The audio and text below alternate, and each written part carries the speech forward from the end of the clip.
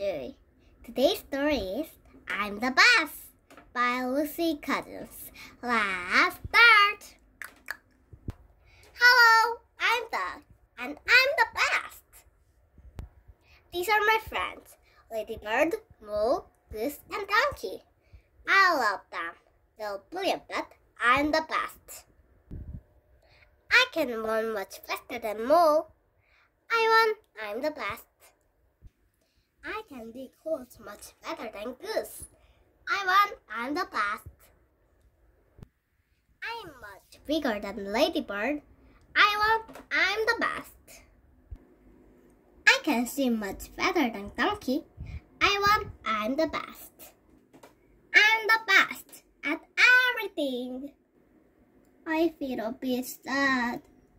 Me too. Dog is best at everything. I wish I was as good as dog. Actually, I can dig holes much longer and much deeper than the dog, so I want I'm the best. Actually, I can swim much faster than your dog, so I want I'm the best.